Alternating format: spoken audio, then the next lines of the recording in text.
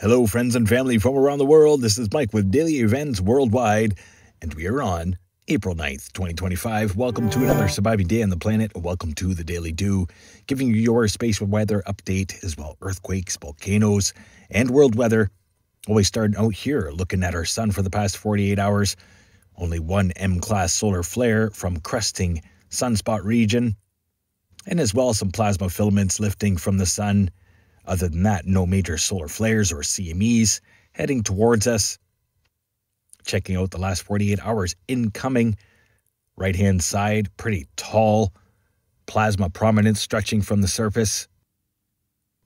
And as well, active fiery sunspot regions cresting into view. Looking at outgoing here. No major solar events to spot but we do have some plasma filaments that are dancing, and we're going to be keeping an eye on them. Having a look at multi-spectrum, pointing out the last two days of events. We have the Earth-facing coronal hole, little diagram bottom left, showing the magnetic field of our sun. And there is that large Earth-facing coronal hole.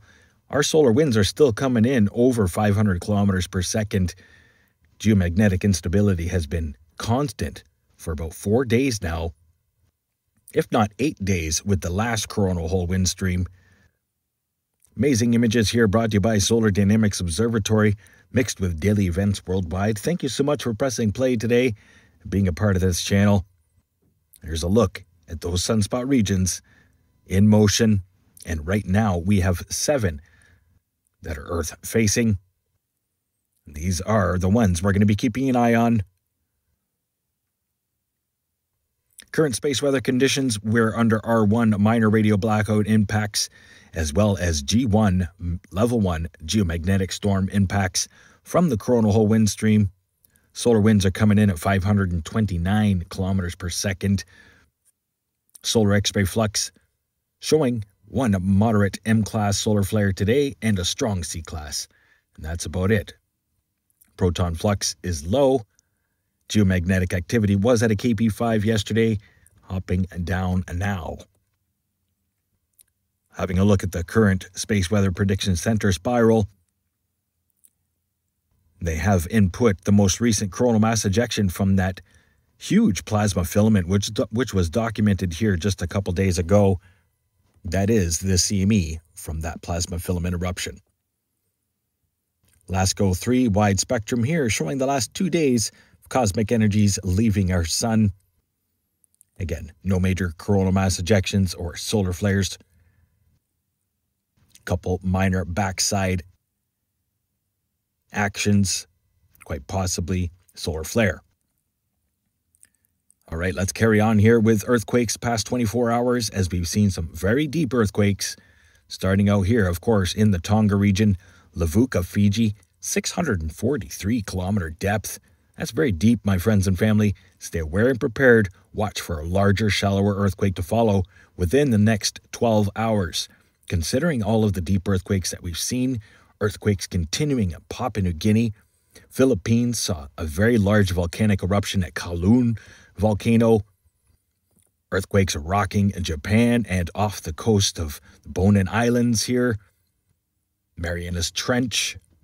Boy, oh boy, Burma even seeing aftershocks a week later after that 7.1 earthquake Myanmar.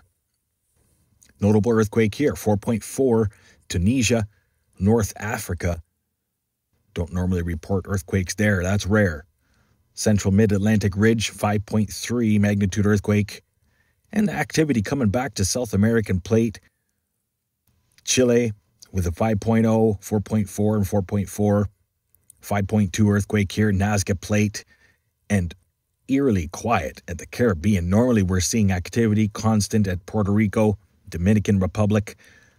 Nothing going on today. USGS is reporting about 230 earthquakes past 24 hours. Had another large eruption at Kilauea volcano, the 17th of this session that started Christmas Eve 2024. Right now, they're inactive and erupting 75, and we've seen a couple very deep earthquakes. Today, Heads up, my friends and family, we're to see a larger, shallower earthquake to follow.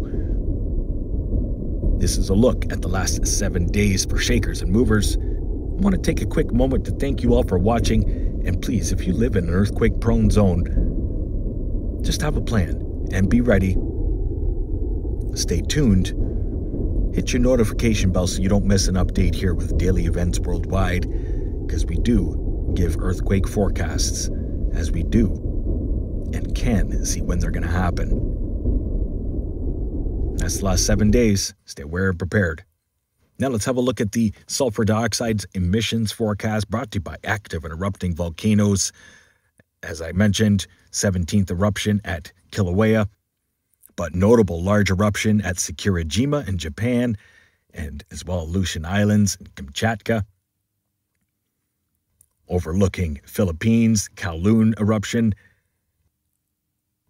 as well notable SO2 plumes coming out of Central Africa.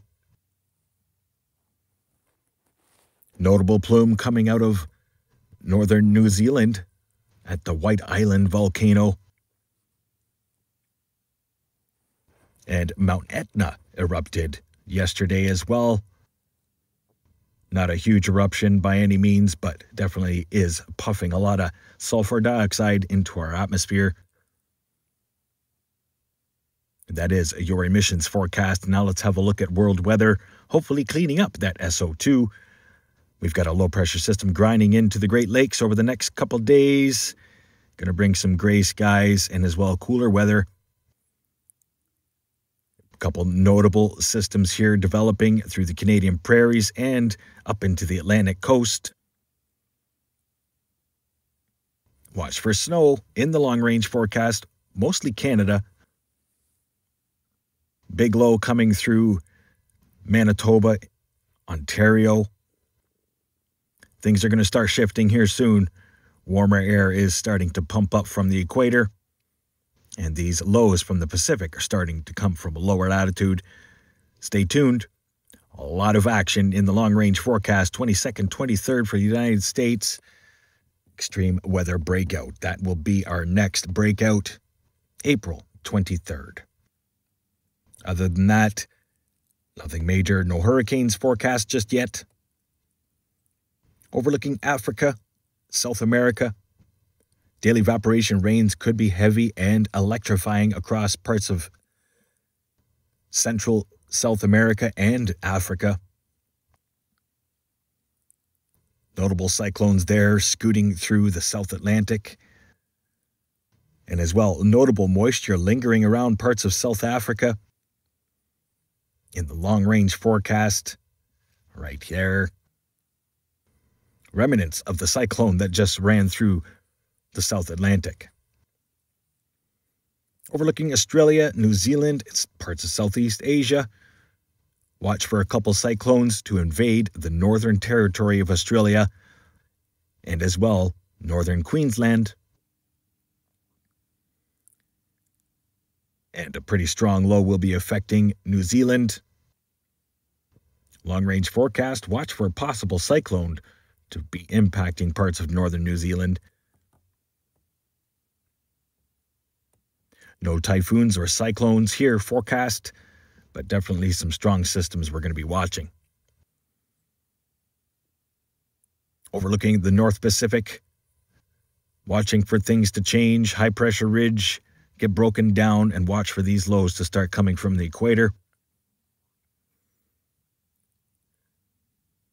Going to see a strong and warm low head into the BC coastline. Long range will bring some heavy rains and strong winds. As well, low pressure system will bring some pretty wavy conditions for the Hawaiian Islands. Much love, everybody. I hope you enjoyed the show today. If you did, please don't forget to give a thumbs up. Much love. Stay safe and healthy. Stay aware and prepared. Stay young and have fun. And get your daily due. Bye bye now.